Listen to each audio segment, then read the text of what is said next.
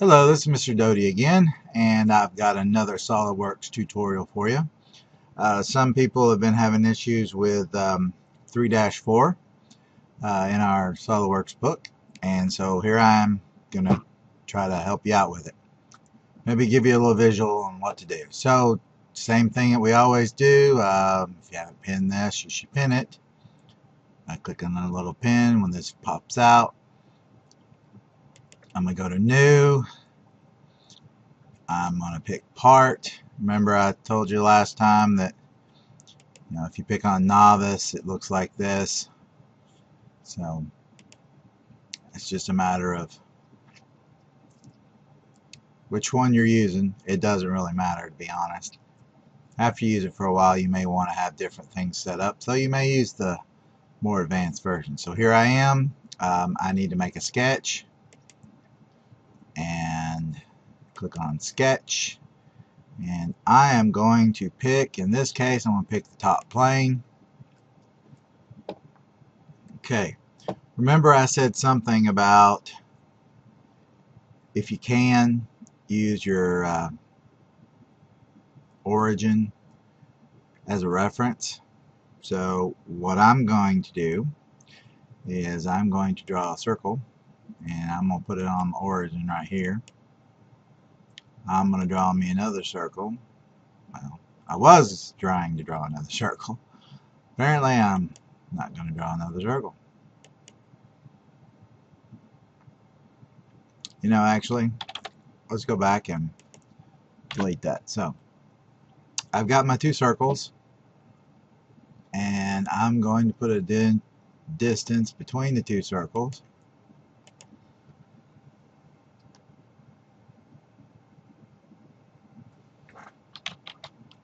2.5. Um, this is going to be the outside, let's say. And the outside has a radius of 1, which would be a diameter of 2.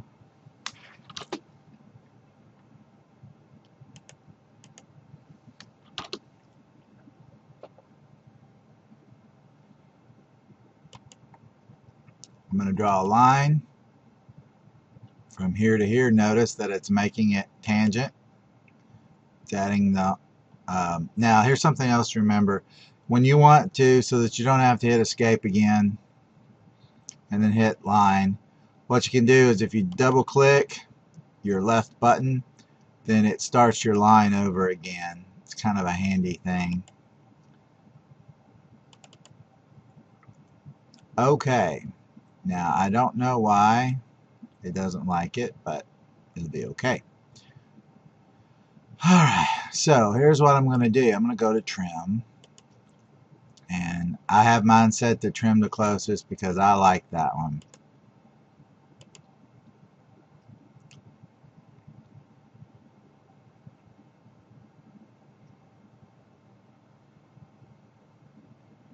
Over defined. Hmm. Okay. Not exactly sure why it's overdefined. But hopefully it'll fix itself as we go along. You may not get that. We'll see. If you did, well, hey, we're, we're awesome. Okay, offset. Offset's a great tool. And um, the distance that I need, it says that it's a half inch. So I'm going to put in 0.5. And then um, I wanted to go the opposite direction. So I'm going to click on reverse. There we go. So click on reverse. It goes opposite direction. And I hit the little check mark. And now it's really not liking it because it's red. We'll figure out what's wrong here in a minute. Okay, so I need to have a slot right here. So I need to draw me a line. I need to draw a line. Come on.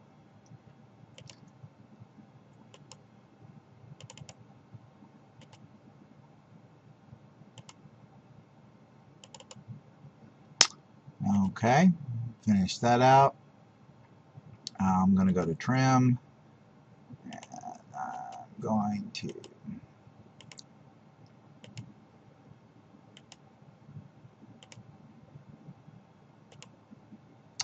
Okay.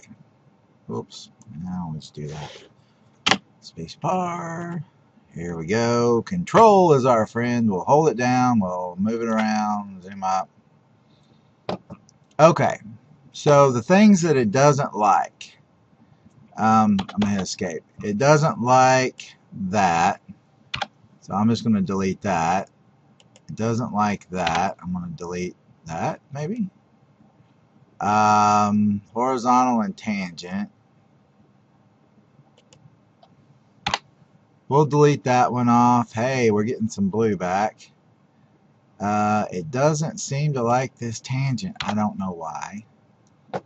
Probably because it's horizontal, maybe. I don't know doesn't say horizontal, but anyway. Uh, let's see, what else? Overdefined. It doesn't like that.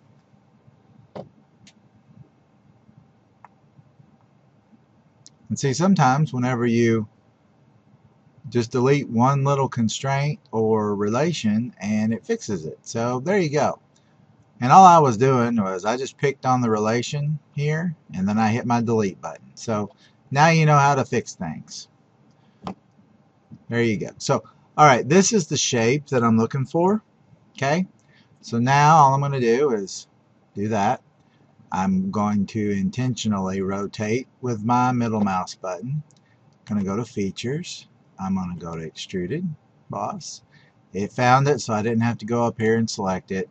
So, um, a distance that I need is 0.5.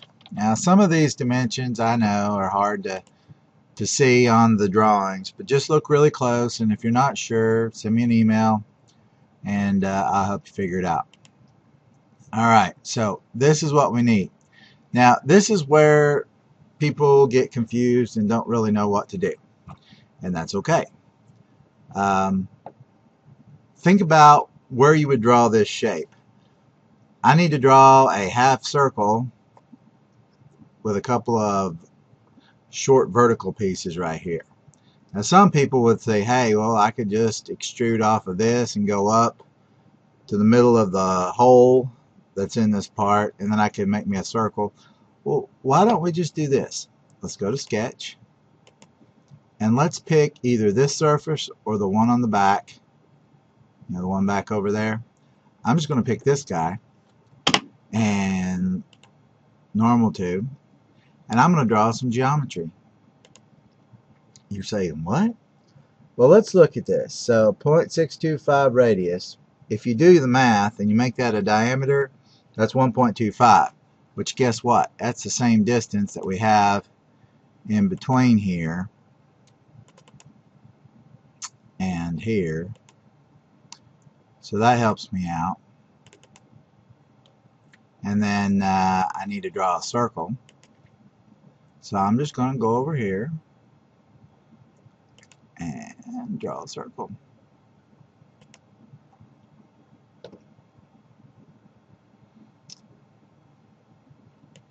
And this time what I'm going to do well here let's just do this. Uh, I need to do some dimensioning so smart dimension uh, from here up to the top of my circle needs to be well it would be one inch from the bottom or a half inch off of here so 0.5 um, this needs to be 1.25 Rut row. Oh, you know what? I have to go back and fix something now. I didn't check that distance, did I? No, I did not. Okay, well, no problem. We can fix it. You're like, great, now he's messed me up. No, I haven't. Let's use this as a teaching moment, right?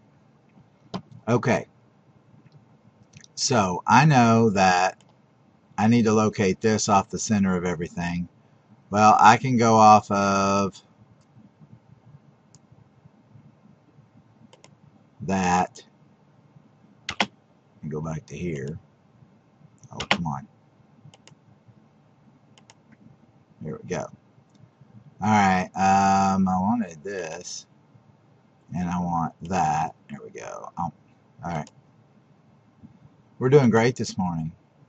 Or whenever it is that you watch it. It's morning for me. Okay, so how far is that over to there? Well, let's think about this. If it's 2.5 from center to center, then it would be 1.25. So it should be 1.25. Yes, that is correct. All right, and so in doing that, I'm going to back my truck up here because these two are attached and I don't want them to be attached. So what I want to do is I'm going to start all over here and I've got my circle drawn. I am going to draw it there I'm going to draw a line over here. Ooh. And I'm going to draw a line up to there. And you're saying, why did you do that? Well, it's probably what I should have done to start with, is locate my circle first, draw my lines down, draw three lines. I'm going to trim, I'm going to get rid of this, I'm going to get rid of this, I'm going to get rid of this. Now I have the shape I want go back to uh, putting in a hole. Jeez. Now you could use the hole command, uh, the hole wizard. Uh, mine's not functioning currently, so this is what I'm going to do. Okay, so I've got the shape that I want, and I have it located. See, I've got located off the center of that, which is actually also the origin. Like I said, if you locate things off the origin, it makes life a lot easier. Um, if it's a symmetrical object like this one, a good way to do it would be to locate the center of the part off of the origin. But as long as you locate something off of it, it's going to make life a lot easier. Okay, so there's that. And that is correct, and I'll show you how to go back and fix this. So first of all, I need to do an extruded boss. I went the wrong way. That's real easy to fix. Go the other direction. It's already the half inch, which is correct. And there you go. There's your part. So like I said, I didn't do the, I didn't check my distances here. So what happens when you mess up? Which is real easy to do. Uh, and it's okay. It's a learning thing. I can go back, or what if that distance changed later on? I drew it correctly the first time, and oh no, the design changed. We need to fix something. We need to change the size of this hole. We need to change this distance. We need to, you know, change the radius of something or whatever. If it's in the sketch, then I go back and I hit the little down thing. It opens up my boss and my sketch. And if you left click on the sketch, click on it, and then pick left click on edit sketch. Now I can look at my sketch and I can figure out what I did wrong. What did I do wrong? Well this and this need to be 1.25 apart. The problem is is I need it to be a certain distance from here also right? So I need to do a little math. Well, it's 0.625 because you're saying why? Well, 250, half of 250 is 125. Half of 125 is 0.625, which it rounds off. And so that makes that correct. Um, I don't know why that